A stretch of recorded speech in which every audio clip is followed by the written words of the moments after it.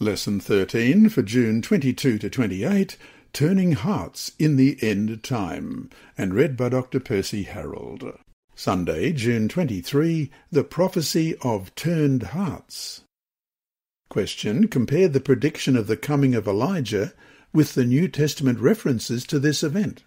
Malachi 4, verses 5 and 6. Behold, I will send you Elijah the prophet before the coming of the great and dreadful day of the Lord and he will turn the hearts of the fathers to the children, and the hearts of the children to their fathers, lest I come and strike the earth with a curse.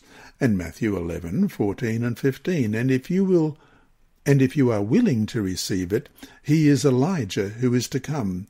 He who has ears to hear, let him hear and Matthew 17, verse 10. And his disciples asked him, saying, Why then do the scribes say that Elijah must come first?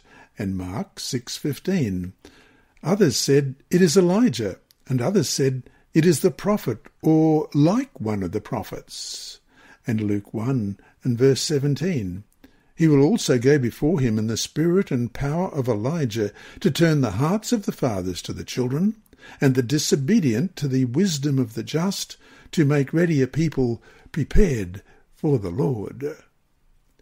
In the days of Malachi, God's appeal to the nation, return to me and I'll return to you, met with the arrogant response, in what way shall we return? in Malachi 3:7.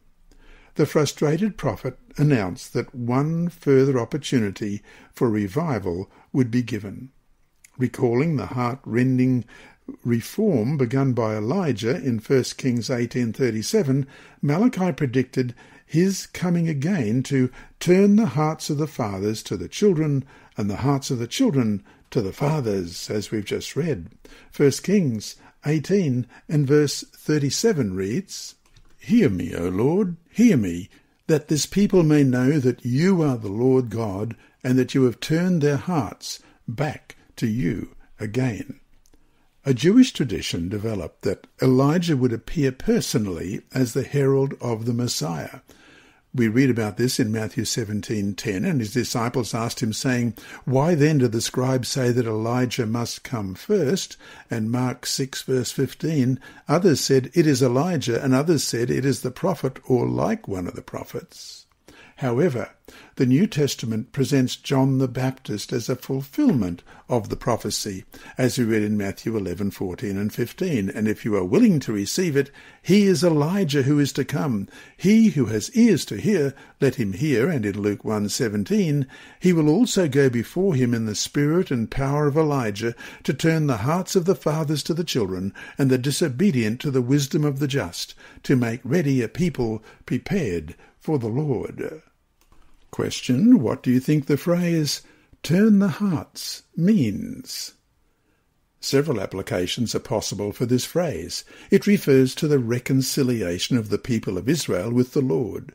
God as Father, in Isaiah 63:16, doubtless you are our Father, though Abraham was ignorant of us and Israel does not acknowledge us. You, O Lord, are our Father, our Redeemer from everlasting is your name has turned from his wrath toward his children. Micah 7, 18 and 19. Who is a God like you, pardoning iniquity and passing over the transgression of the remnant of his heritage? He does not retain his anger forever, because he delights in mercy. He will again have compassion on us, and will subdue our iniquities. You will cast all our sins into the depths of the sea. And calls them to return to him in Isaiah 44 verse 22. I have blotted out like a thick cloud your transgressions, and like a cloud your sins. Return to me, for I have redeemed you. And in Malachi 3 verse 7, Yet from the days of your fathers you have gone away from my ordinances and have not kept them. Return to me, and I will return to you, says the Lord of hosts. But you say, In what way shall we return? It refers to the reconnecting of later generations with their faithful ancestors through covenant renewal. The prophetic call for God's people to follow the faith of the patriarchs was given repeatedly in the Old Testament. whether the land continued as a blessed dwelling place was directly related to covenant faithfulness, as we read in Deuteronomy 4, verses 29 to 31. But from there you will seek the Lord your God, and you will find him if you seek him with all your heart and with all your soul. When you are in distress and all things come upon you in the latter days, when you turn to the the Lord your God and obey his voice, for the Lord your God is a merciful God, he will not forsake you, nor destroy you, nor forget the covenant of your fathers, which he swore to them. It refers to the restoration and renewal of family relationships. Parent-child relationships are a practical expression of covenant faithfulness with God.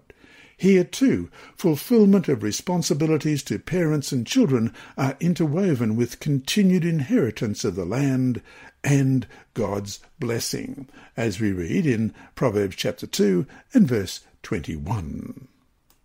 For the upright will dwell in the land, and the blameless will remain in it.